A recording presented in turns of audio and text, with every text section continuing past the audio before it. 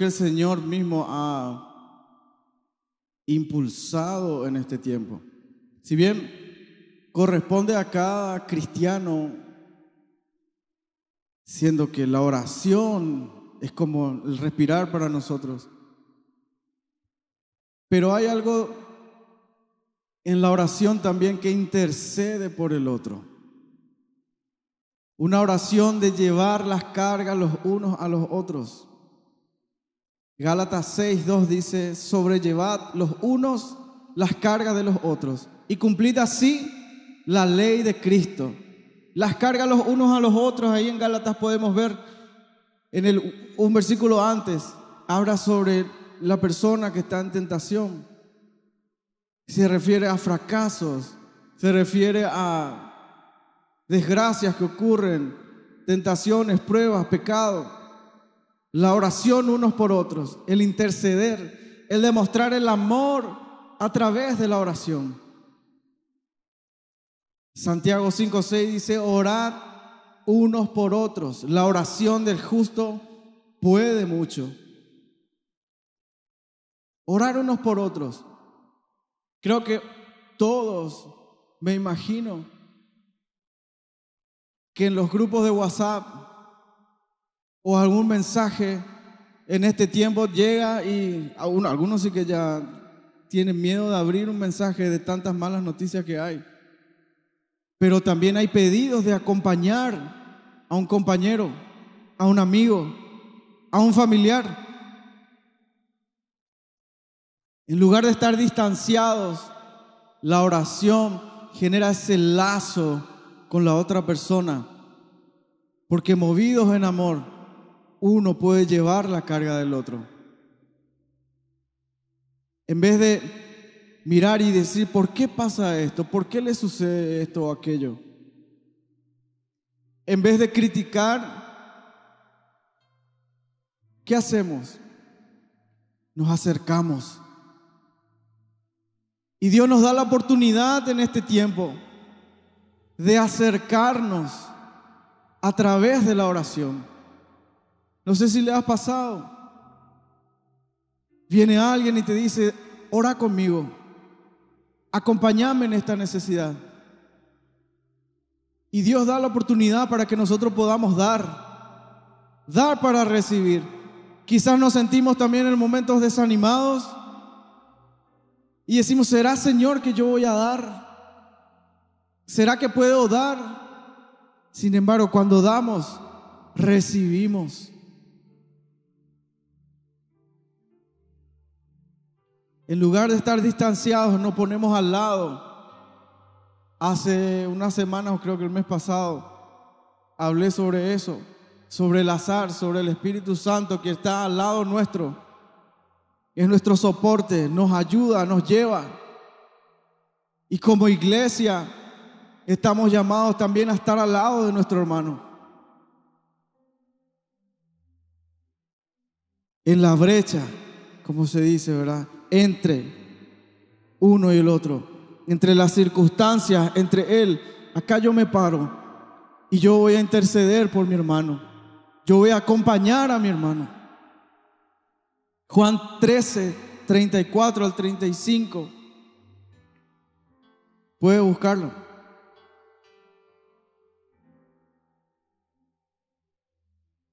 habla sobre ese amor.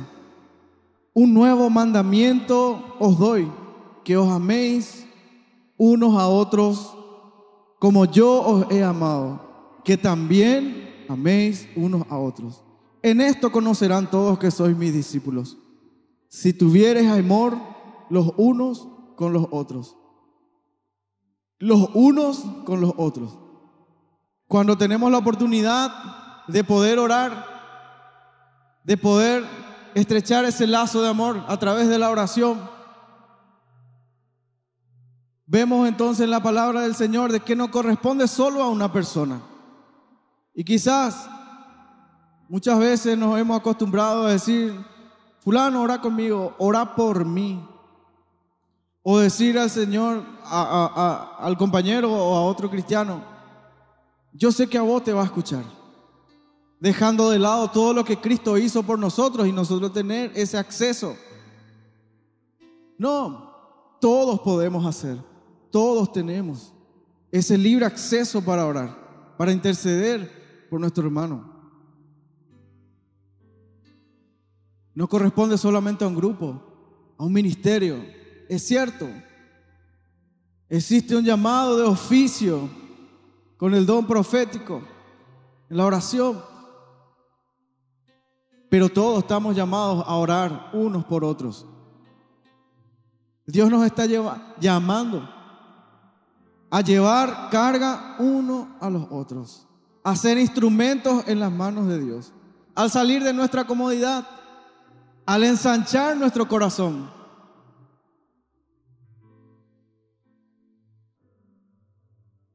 No sé si ha tenido la oportunidad de poder decir, bueno, hoy me levanto, hoy oro por mi esposa, por mis hijos, por el trabajo, por un familiar, por esto, por el amigo, pero después viene una lista ya de personas que en este tiempo se han agregado a tu familia, las cuales están pidiendo, acompáñame.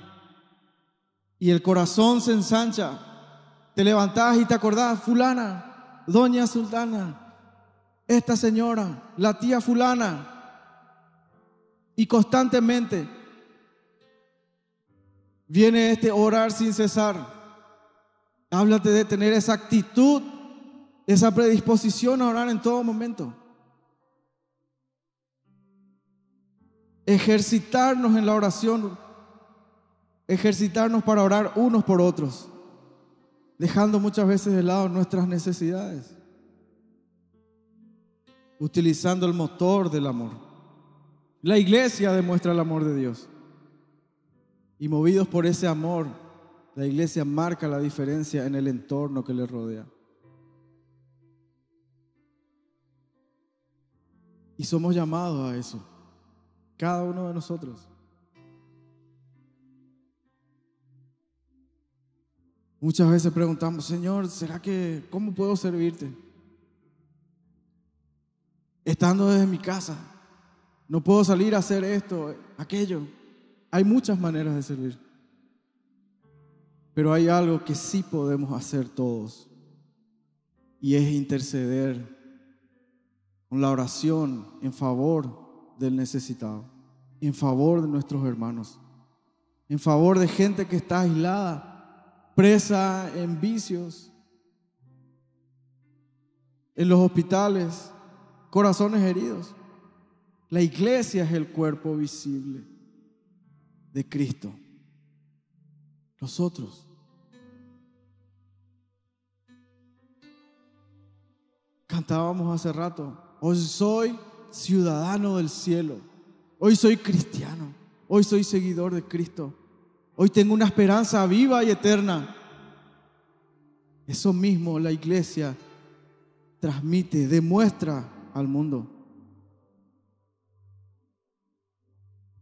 Como cristianos estamos enfrentando esta batalla. Como cuando empezaba la pandemia, no, todos estamos peleando con esto. Quédate en casa, lávate las manos, ponete tapaboca. Pero la iglesia también está batallando con la oración a través de la solidaridad, a través del amor unos por otros.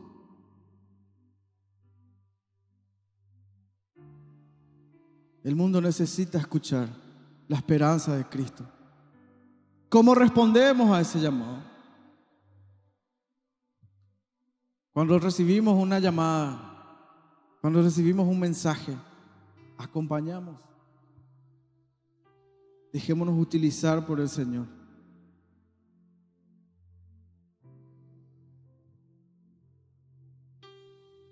No te hablo como alguien que lo está, lo alcanzó todo, sino aprendiendo a caminar. mirando desde el año pasado hasta acá, podemos ver cómo el Señor ha ensanchado el corazón, cómo la oración está enfocada de una manera diferente, cómo nuestros ojos a través del amor de Cristo, nosotros reflejamos ese amor por nuestros hermanos. ¿Qué vamos a hacer? Fijarnos en las circunstancias, en los problemas o en la oportunidad que Dios nos está dando a cada uno de nosotros de ejercitar nuestra fe, de ejercitarnos en la oración.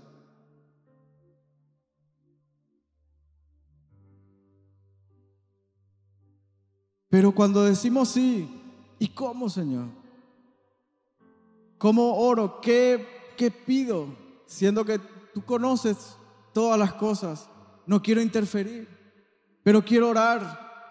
Y en la Biblia encontramos muchos pasajes donde el Señor obra en la vida de un mensajero, en la vida de algún discípulo, y encontramos oraciones como dice en la palabra, no van las palabrerías. Hay veces que hay oraciones cortas, como cuando el discípulo está caminando sobre las aguas y está Jesús y empieza a hundirse. Hay una oración cortita. Jesús, sálvame. Pero supo enfocar la causa. Señor, me estoy hundiendo sin ti. Necesito que me ayudes que me saques. Hoy quiero tomar un modelo de una oración que está en Efesios 3. Si pueden abrir sus Biblias. Y encontramos al apóstol Pablo. Y una de las cosas donde él enfocaba mucho su oración en favor de los santos, como dice, de los fieles del Señor es por el bienestar espiritual. Pablo orando por el bienestar en medio de persecución, en la cárcel, necesitado, pero él enfocaba su oración, Señor, susténtale. Mantén el espíritu avivado, que sean fortalecidos. Y cuando pedía oración para él, porque todos necesitamos oración. Muchas veces ahí también, cuando, cuando queremos, sabemos que tenemos que pedir a alguien que nos acompañe, pero tenemos que vencer nuestro orgullo también. De reconocer de que yo necesito, que solo no puedo, que esta batalla no voy a poder ganarlo solo. Necesito alguien a mi lado, necesito alguien que me acompañe, necesito alguien que esté en la brecha, ayudando, intercediendo por mí. Y Pablo ora pidiendo de nuevo. ¿Para qué? Para seguir expandiendo el Evangelio. Pablo ora pidiendo que el amor de los filipenses abunde aún más. En ciencia y en todo conocimiento. Cuando obra por la iglesia de Colosas, para que sean llenos del conocimiento de la voluntad, la sabiduría, una inteligencia espiritual Pablo nos insta a ser sensibles a las necesidades espirituales de los santos, de los unos a los otros. Y también de la salvación de las personas. Hay una oración que el Señor va a escuchar de aquel que no le conoce. Y es una oración de entrega, rindiendo el corazón. Pero cuando oramos por nuestros hermanos, Señor, que sean fortalecidos, que no les falte la fe. Aumentale, Señor, la fe. Que te sean fieles, que te conozcan esa dependencia quizás que el Señor nos quiere llevar. Que caminen en fe, Señor. Pablo intercede por los miembros de la iglesia de Éfeso. En el capítulo 1 dice, yo apóstol de Jesucristo por la voluntad de Dios, saludo a los santos. La carta dirigida a los santos de la iglesia, fieles en Cristo que están en Éfeso. Y el 3, versículo 14 dice, por eso yo me arrodillo delante del Padre de nuestro Señor Jesucristo. Otra versión dice, por esta causa doblo mis rodillas ante el Padre de nuestro Señor Jesucristo, de quien toma nombre toda familia en los cielos y en la tierra, para que os dé, para que os dé conforme a las riquezas de su gloria, el ser fortalecidos con poder en el, no, en el hombre interior por su espíritu, para que habite Cristo por la fe en vuestros corazones, a fin de que arraigados y cimentados en amor, seáis plenamente capaces de comprender con todos los santos, otra vez, todos los santos, cuál sea la anchura, la longitud, la profundidad, la altura, y de conocer el amor de Cristo, que excede a todo conocimiento, para que seáis llenos de toda la plenitud de Dios. Qué lindo. Empieza una oración y termina con una alabanza al Señor. Y aquel que es poderoso para hacer todas las cosas, mucho más abundante de lo que pedimos o entendemos, según el poder que actúa en nosotros, a Él sea la gloria. En la iglesia, en Cristo Jesús, por todas las edades, por todos los siglos. Amén. El apóstol dice, por esta causa doblo mis rodillas. ¿Cuál es la causa? En el capítulo 2 encontramos esa causa por el cual el apóstol se está arrodillando, está doblando sus rodillas, una actitud de humildad ante Dios. Doblo mis rodillas para que los hermanos que ahora están en Cristo vivan conforme a esa riqueza en gloria, para que vivan conforme a esa realidad. El versículo 2 dice, esa realidad de donde fueron tomados, a ustedes Él les dio vida cuando aún estaban muertos en sus delitos y pecados. Versículos 4 y 5 dice, pero Dios cuya misericordia es abundante, por el gran amor con que nos amó, nos dio vida junto con Cristo, aun cuando estábamos muertos en nuestros pecados. La gracia de Dios los ha salvado. Y el apóstol dice, por esta causa doblo mis rodillas para que los creyentes de la iglesia vivan conforme a esa realidad, vivan conforme a esa identidad que tienen hoy en Cristo. El surgir del pecado y muerte a riqueza y gloria en Cristo.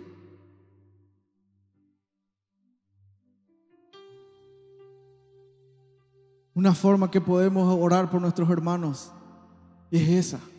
Señor, por esta causa doblo mis rodillas. Quizás está pasando momentos difíciles, momentos de angustia, momentos de soledad, momentos de enfermedad. Señor, pero por esta causa oro por mi hermano. Que viva conforme a esa realidad. Quizás el enemigo quiere poner duda. Quizás el enemigo quiere nublar la mente. Pero Señor, doblo mis rodillas por esta causa. Que viva de acuerdo a esa realidad. Que cuando venga el temor y decir, Señor, ¿cómo me vas a aceptar así? No, no menosprecies la obra que, que Cristo hizo por nosotros. Vivir conforme a esa realidad. En el versículo 8 del capítulo 3 dice,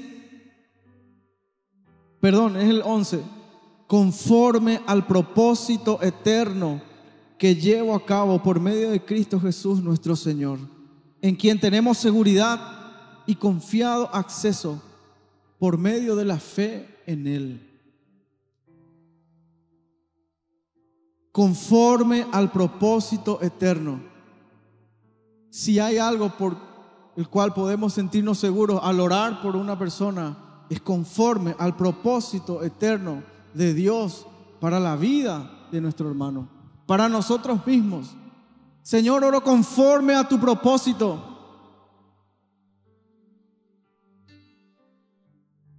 El Espíritu Santo, quien escudriña los corazones y clama con ese gemido indecible, sabe qué pedir. Entonces pedimos conforme al propósito de Dios. una manera efectiva de orar por nosotros y por nuestros hermanos es que permanezcan en el propósito de Dios.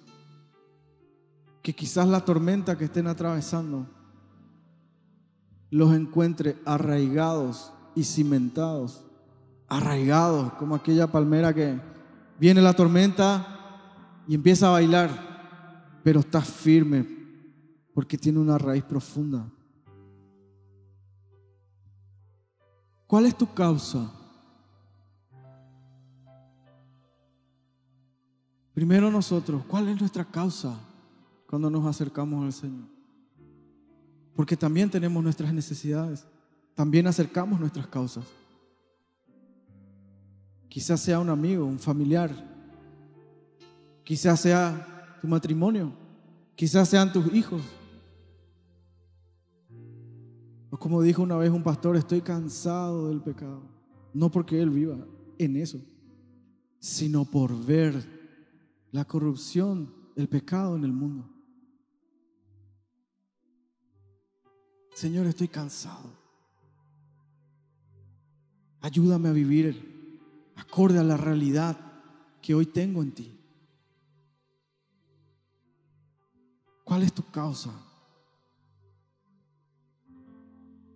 En estas dos cosas que estamos viendo, oramos entonces para que las personas permanezcan en el propósito eterno de Dios y vivan de acuerdo a la nueva realidad que tenemos como hijos de Dios. Hay otra cosa que podemos ver en ese primer versículo. Por eso yo me arrodillo delante del Padre de nuestro Señor Jesucristo. Por esta causa me arrodillo. ¿Delante de quién? Del Padre de nuestro Señor Jesucristo. Yo necesito enfocarme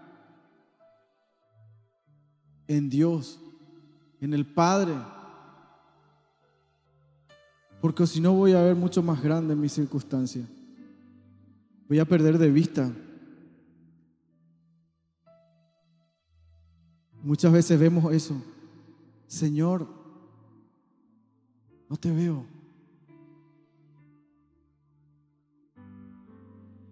Pero si me enfoco en el Padre, sé que hay un propósito eterno detrás de todo.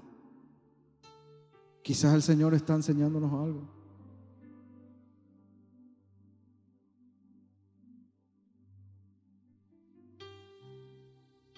Nos enfocamos en su grandeza. Y hay una actitud aquí correcta. Doblo mis rodillas. Por esta causa, doblo mis rodillas ante el Padre. Doblo mis rodillas. Esa posición habla de la humildad. Era Pablo Yo sé ante quién me estoy arrodillando. Yo reconozco quién soy ante Dios. Somos criaturas suyas. Debemos ocupar el lugar que nos corresponde. Nuestra posición ante el Creador. Incluso Jesús mismo en el Getsemaní, postrado yo me arrodillo. Pero más allá de una expresión física, porque podemos arrodillarnos y solamente para que sea a los ojos de los hombres. Muchas veces dice.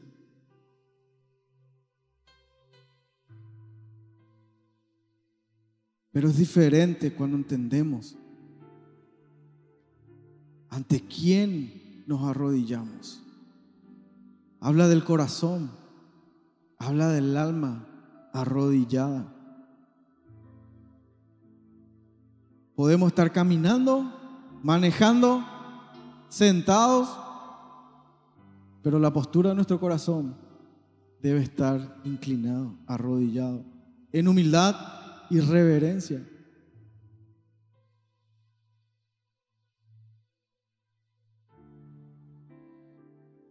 Entonces tenemos tres cosas hasta acá. Nuestra causa, ¿cuál es tu causa? ¿Hay algo que quieras entregarle hoy al Señor? La actitud correcta con la cual entregamos y orar conforme al propósito eterno de Dios. Después de eso vienen los pedidos de Pablo, donde oró para que sean fortalecidos por el Espíritu de Dios, para que puedan conocer de una manera íntima la presencia y el amor de Dios, para que por su Espíritu, conforme a las riquezas de su gloria, los fortalezca interiormente con poder el pedido es para que los cristianos, la iglesia, los creyentes, puedan ser fortalecidos con poder en lo íntimo de su ser, por su espíritu. Las riquezas de su gloria podemos ver ahí en los capítulos, versículo 1. Capítulo 1, versículo 3 dice, bendito sea el Dios y Padre de nuestro Señor Jesucristo que en Cristo nos ha bendecido con toda bendición espiritual en los lugares celestiales. Otro, por citar uno más, en Él tenemos redención por medio de su sangre, el perdón de los pecados, según las riquezas de su gracia. El perdón de nuestros pecados. La bendición.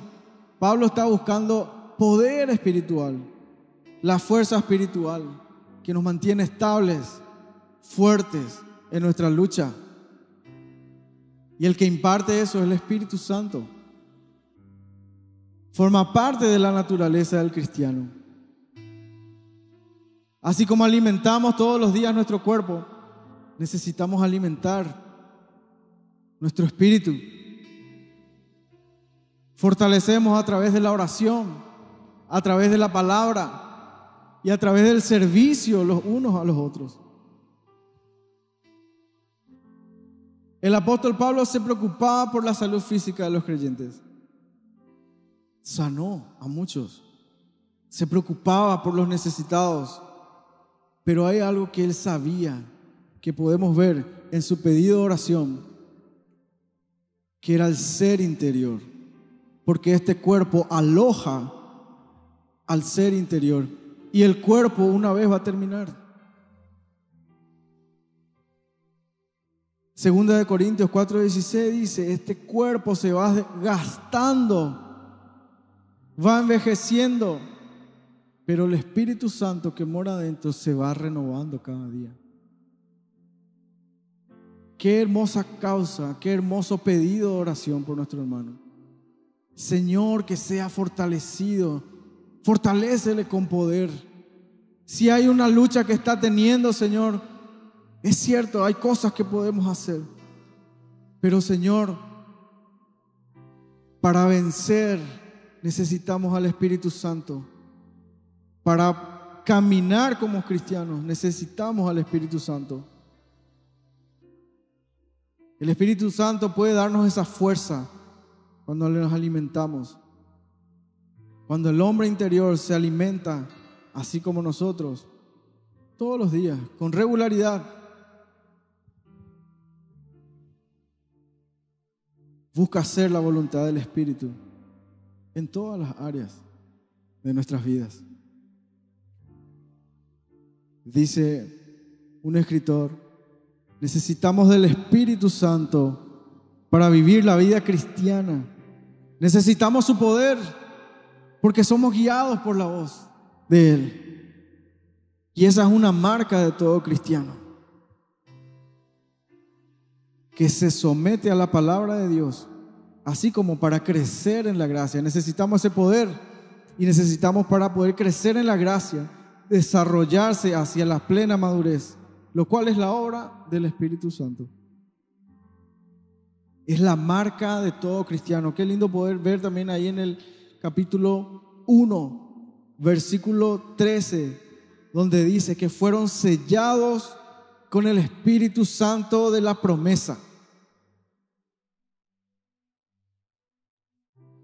cuando nos acordamos, cuando oramos, cuando pedimos por nuestro hermano. Qué mejor que pedir que sea fortalecido en su espíritu. Cuando salimos, cuando recorremos, hay gente que te dice, no, no, no, no me hace falta nada. Tengo, pero sí necesito fuerzas, sí necesito fortaleza espiritual. Sí siento que mi, mis sentimientos, mis emociones están como en una montaña rusa. Necesito de dónde pararme. Necesito alguien que me sostenga. Entonces cuando oremos por alguien, Señor, fortalécelo en su espíritu. Cuando oramos por nosotros mismos, Señor, fortaléceme. Que tu Espíritu Santo me sostenga. Que me avive. En su segunda petición, Pablo oró diciendo que Cristo habite por la fe en vuestros corazones. Que Cristo habite por la fe. Habitar por la fe en nuestros corazones. Juan 15, 4 dice, permaneced en mí y yo en vosotros. Pablo ora para que el señorío de Cristo pueda extenderse a cada parte del cristiano. El señorío de Cristo. Que pueda habitar, no solamente visitar sino que al habitar Él pueda recorrer cada parte de nuestra casa.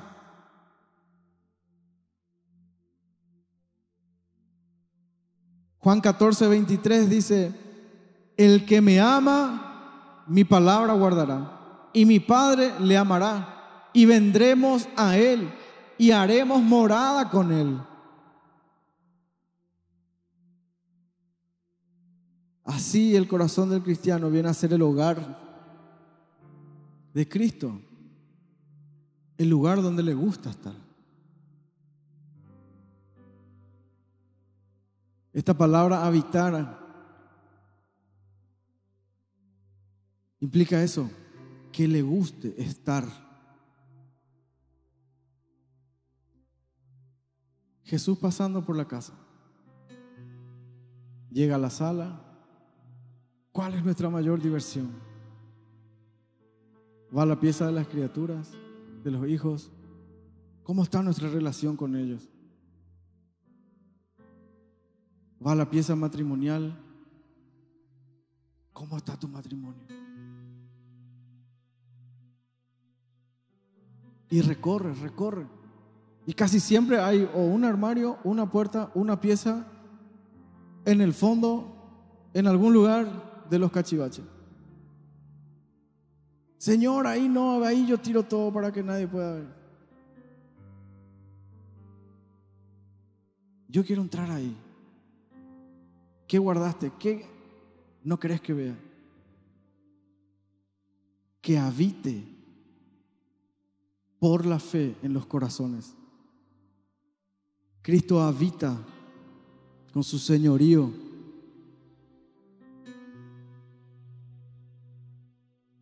No solo visitar, habitar, permanecer. En Juan 15, versículo 5 dice, yo soy la vid, vosotros los pámpanos. El que permanece en mí y yo en él, este lleva mucho fruto, porque separado de mí, nada podéis hacer.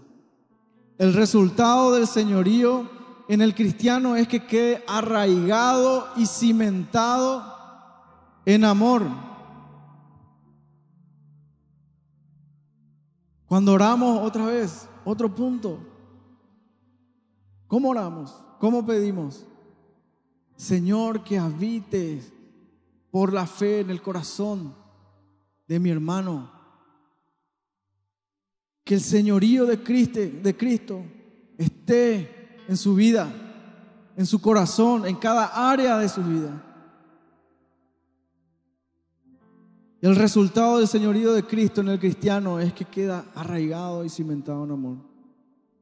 Como esa planta que está arraigada. Y eso produce alimento y soporte. Pero también cimentado en amor es el fundamento sobre el que descansa. ¿Dónde descansa? En el amor. Dice un teólogo, Scroggy, el amor es el terreno en el que nuestra vida ha de tener raíces y es la roca sobre la que nuestra fe ha de reposar en todo momento. Cuando experimentamos el amor de Cristo podemos manifestar ese mismo amor a otros. Y ahí es donde el Señor te dice, ama a los míos. Quiere fortalecerte en tu espíritu. Quiere fortalecernos. Quiere habitar en nuestros corazones, tener el señorío en nuestras vidas. Y cimentados y arraigados en amor, nosotros podemos transmitir y servir en amor a nuestros semejantes. Es cierto, podemos amar. ¿Acaso no amamos a nuestro familiar o cuando no estábamos en Cristo podíamos amar? Sí. Pero el amor de Cristo es muy diferente. El amor de Cristo nos lleva a servir a nuestro enemigo, amar aquella persona que quizá le dice, dice a todos los santos, pero fulano no me cae. No, hay un amor que excede todo conocimiento. Necesitas amar. Necesitas extenderte. Necesitas ensanchar tu corazón. Juan 13:34 dice, un nuevo mandamiento os, doy, que os améis unos a otros como yo os he amado, que también os améis unos a otros. Es la vida de Cristo reflejado en el cristiano. El amor es el primer fruto. Amor, gozo, paz, paciencia, benignidad. Amor.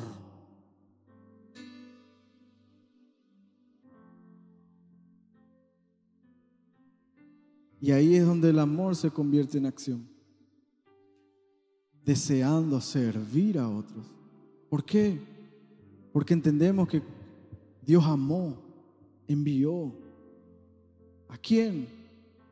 Al mundo. Juan 3:16. Pero cuando vemos a los hermanos, los amó. Cuando habla de los ministerios, sean edificación para la iglesia, a los que Él ama su mayor tesoro, la iglesia. Pablo ora pidiendo que lleguemos a ser plenamente capaces de comprender ese amor con todos los santos. Pablo ora pidiendo eso. Seáis plenamente capaces de comprender con todos los santos cuál sea la anchura, la longitud, la profundidad y la altura que puedan conocer ese amor en todas las dimensiones, ese amor que sobrepasa todo entendimiento. Y así oraba él. Y es un modelo que nos deja para que nosotros también podamos orar por otros. La anchura. Cuán ancho es el amor del Señor. De chicos cantábamos eso tan ancho que no puedo estar al lado de Él. Juan 3:16 dice, y habla sobre su anchura, porque de tal manera amó Dios al mundo, rodea a todos, que ha dado a su Hijo unigénito para que todo aquel que en Él crea no se pierda, mas tenga vida eterna. Sus brazos, los brazos están en la anchura de Él, a todo el mundo. Juan 10, 9 dice, yo soy la puerta, el que por mí entrare será salvo. El que viene a mí, no le echo fuera. cuando oramos para que nuestro hermano entienda ese amor. O cuando pedimos por personas que no están en la fe, Señor, que conozcan la anchura de tu amor, que vino por ellos, que tu Espíritu Santo obre para salvación. Él es la puerta, el que a mí mirare será salvo. Los brazos de Cristo están abiertos. La longitud, Primera de Corintios 13, 8. El amor nunca deja de ser. Qué hermoso, mi hermano. Y me vas a acordar aquel, aquella última cena donde Jesús dice, y los amó hasta el fin. Lo amó, los amó hasta el fin, sabiendo de que después de eso, y él estaba cenando con una persona que iba a traicionar, con alguien que le iba a negar, con personas que iban a estar, que estuvieron con él, pero los iban a dejar cuando fue llevado. Sin embargo, Él los amó hasta el fin. El amor de Dios nunca deja de ser. La longitud, esa línea de salvación que comenzó con el cordero que fue sacrificado. Y se proyecta al pasado, al presente y al futuro. La profundidad hasta la muerte de cruz. Filipenses 2.8 dice, hallándose en la condición de hombre, se humilló a sí mismo, haciéndose obediente hasta la muerte y muerte de cruz. ¿Para qué? Para redimir a quienes están muertos en sus delitos y pecados. Aquellos, su profundidad, ok, yo puedo ir ahí. No, Señor, yo estoy hundido estoy acá en lo profundo. No, mi amor llega hasta allá. Mi amor llega hasta allá. ¿A dónde iré de tu presencia? En los cielos estás tú. Habita todo lugar. Él está para rescatarnos.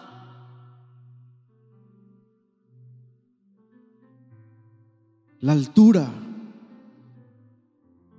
llega hasta el mismo trono de Dios.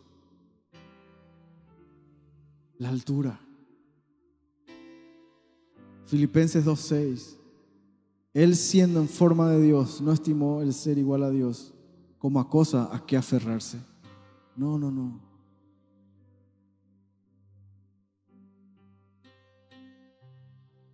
¿Quieren un Dios?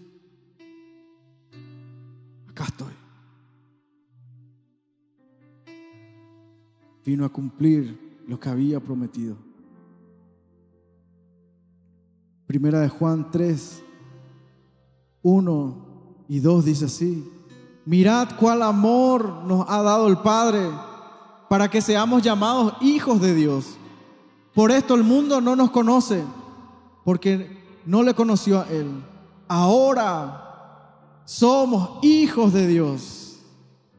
Ahora somos hijos de Dios. Y en la altura está esa esperanza eterna que tenemos de estar en su presencia.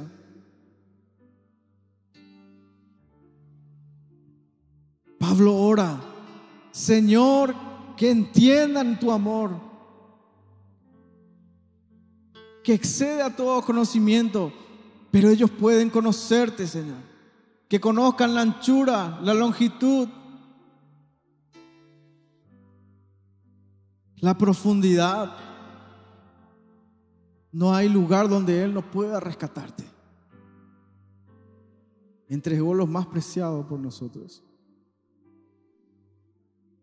Pablo está diciendo, por esta causa estoy arrodillado,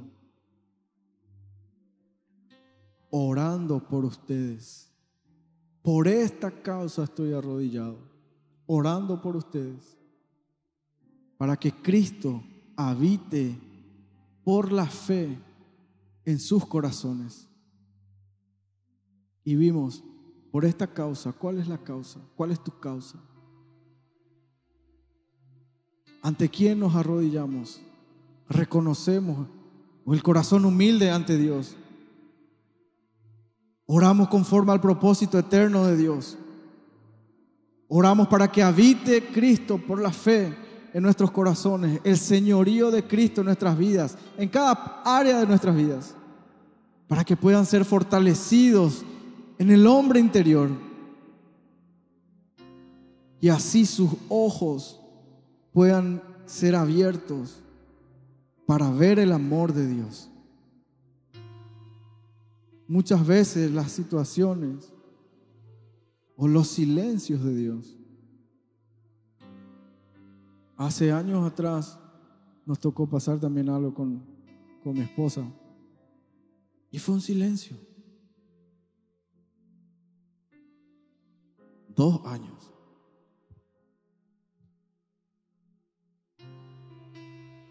¿Y qué voy a hacer?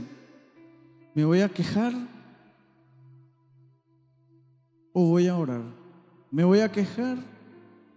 ¿O voy a alabar? ¿Me voy a quejar o voy a confiar en Dios? Y en este tiempo que estamos pasando es donde estamos poniendo en práctica esas promesas que han sido guardadas en nuestros corazones. Y por esas promesas pedimos que el Espíritu Santo haga memoria en el corazón de cada uno de nuestros hermanos. Señor, por esta causa, que no te pierdan de vista, que sepan que tú estás con ellos, que quizás la prueba pueda ser dura, pero aún en el desierto, yo estoy con ellos, yo estoy contigo. En Oseas 2, 7 dice que los llevó al desierto para volver a enamorar su corazón. Y hablaba en relación al pueblo de Israel. Muchas veces nos vemos el propósito eterno en las cosas que pasamos. Y necesitamos que alguien ore por nosotros. Porque quizás nos envuelve y no podemos ver. Pero ahí está el hermano. Ahí estamos nosotros. Ahí estás vos. Señor, que no le falte la fe. Señor, tu propósito eterno sea cumplido en ellos. Que habites en sus corazones. Que sean fortalecidos en el hombre interior. Ayúdales. Tu gracia, Señor, en esa debilidad. Bástate mi gracia, le dijo el Señor. Después de pedir tres veces que le quite ese aguijón en la carne, esa molestia en el cuerpo, que nuestros ojos sean abiertos al amor de Dios, para ver a Dios en medio de todo. Hay un propósito y oramos según el propósito de Dios y sus ilimitadas posibilidades. ¿Por qué? Dice en el versículo 20, y a aquel que es poderoso para hacer todas las cosas mucho más abundantemente, mucho más de lo que nosotros pedimos, Él lo puede hacer. Quizás pedimos y decimos ya, queremos ya, pedidos ya. Pero el Señor tiene un plan mayor, sus pensamientos son más altos que los nuestros. Quizás hay un proceso que el Señor, como dice en Oseas, como estaba diciendo hace rato, quizás está enamorando su corazón, creando una dependencia mayor entonces oramos conforme al plan que Dios tiene para esa persona.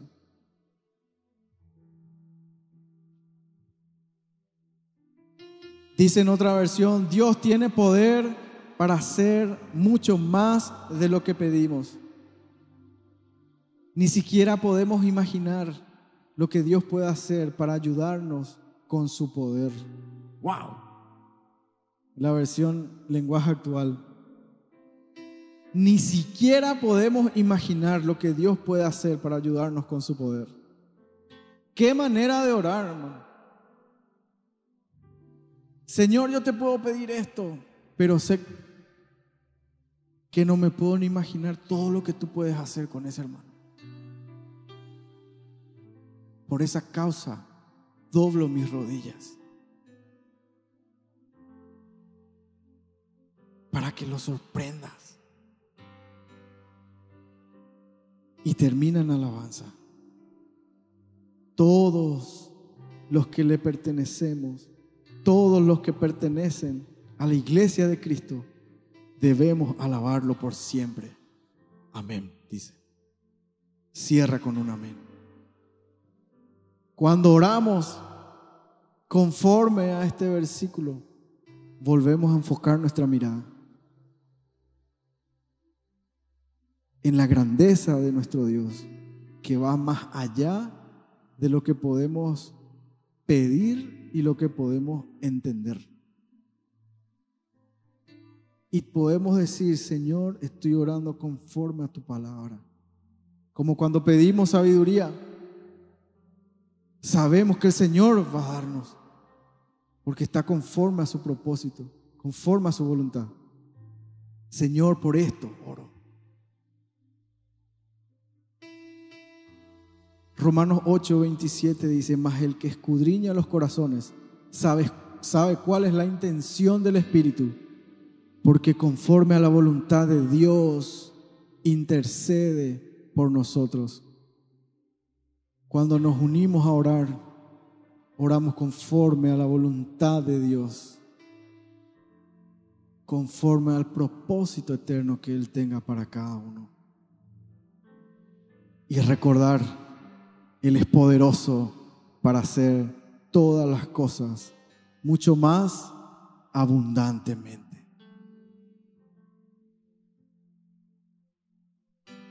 Aleluya. Decía John Newton, a un rey acudes tú. Grandes peticiones puedes hacer, pues su gracia y poder tales son que nunca demasiado has de pedir. Ese es nuestro Dios. ¿Cuál es tu causa en esta noche? ¿Cuál es tu causa al que está mirando por la transmisión?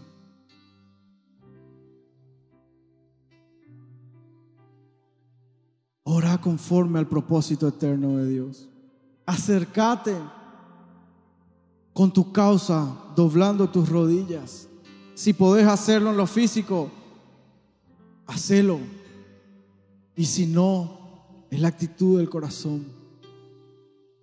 Un corazón humilde, un corazón que reconoce ante quién está. Por esta causa. Y en esta noche te invito a que te puedas poner de pie. Y que puedas orar al Señor. Así como estamos compartiendo que puedas orar conforme al propósito de Dios. Cada uno quizás tiene su causa. Ponelo a los pies del Maestro. Ponelo a los pies de la cruz. Y que el señorío de Cristo obre en la vida de cada uno de nosotros. Como cantábamos hace rato, Señor, me inclino ante, ti. Me inclino ante ti. Rey que perdona multitud de errores. Si hoy viniste con tu causa y quizás es tu, es tu mismo corazón, entregale al Señor. Me siento así, me siento así. Necesito ser fortalecido en el hombre interior. Necesito ser fortalecido por tu Espíritu Santo. Señor, he descuidado.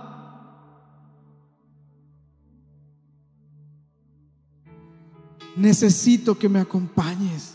Si tenés que decirle a alguien, vence ese miedo, ese temor o ese orgullo y pedí ayuda. No estés solo, no estemos solos. Hay alguien que puede acompañarte. Aquí es lo que estábamos diciendo. Todos somos llamados a estar al lado, a interceder. Porque el motor que nos mueve es el amor de Cristo. Estamos arraigados, cimentados en amor. Y ese mismo amor, Señor, hoy queremos transmitir. Queremos, Señor, proyectar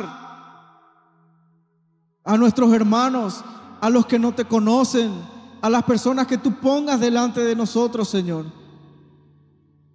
Si orábamos, Señor, para que quebrantes nuestros corazones, Señor, estamos quebrantados. Que podamos volcarlos, Señor, hacia ti. Si en algún momento pedimos, Señor, úsame. Hoy es el momento, hoy es el tiempo. Déjate usar por el Señor. Si necesitas salir de tu comodidad, Señor, voy a salir. Voy a agregar personas a mi corazón. Voy a acompañarlos hasta que pase la tormenta, hasta que pase la prueba. Porque vos me amaste a mí. Porque vos me sostenés a mí. Porque tu Espíritu Santo está conmigo. Eso mismo yo quiero para mi hermano. La oración es poderosa. La oración consuela al corazón del entristecido. La oración a través del nombre poderoso de Jesús trae libertad porque nos enfocamos en Cristo Jesús. Nos enfocamos en nuestro Dios que es todopoderoso, que puede hacer más puede hacer cosas mayores a lo que nosotros pedimos y entendemos. Señor, en el nombre de Jesús, queremos ser guiados por la voz de tu Espíritu Santo. Y queremos que tú nos hables. Que tú pongas, Señor, esa oportunidad a cada uno de nuestros hermanos, los que estamos aquí, los que están viendo, Señor. Esa oportunidad de servirte, de poder, Señor, pelear esta batalla de una manera diferente, orando unos por otros, llevando las cargas unos por otros, extendiendo la mano al necesitado teniendo empatía con el necesitado, con el afligido, con el que está dolorido, con el enfermo. Y que tú nos muestres, Señor, ese amor que sobrepasa todo entendimiento en las circunstancias, en lo que atravesamos. Que tu Espíritu Santo, Señor, nos haga ver que hay un propósito eterno en cada uno de nosotros. Señor, hoy clamamos a ti. Tu palabra dice, clama a mí y yo te responderé. Señor, que podamos aceptar tu respuesta, incluso cuando la respuesta es no. Incluso, Señor, cuando es sí, pero todavía no. Porque yo estoy cumpliendo mi propósito. Señor, que tu Espíritu Santo nos lleve a descansar en esa soberanía divina, en tu provisión, sabiendo que tú no abandonas las obras de tus manos, que aún en el desierto tú estuviste con tu pueblo y tú estarás con nosotros. Jehová es mi pastor, nada me faltará.